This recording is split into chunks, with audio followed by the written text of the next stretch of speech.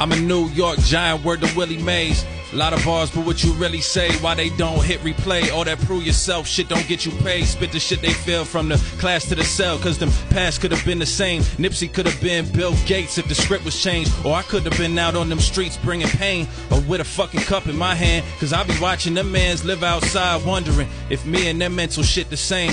But who am I to preach? I'm blowing past cats who tried to reach. I'm from the era when AI was the answer. Now they think AI is the answer. Shit, but you can't copy a soul. Go ahead, copy a stanza. I don't rock with the banter. I ain't cocky, I'm stand up. You ain't never felt that. Ain't knocking your mans, but his eyes got him some plans that's gonna end up with you jammed up. I retire Dame before they turn me into Westbrook. Want love at my worst, cause they don't know what my best took.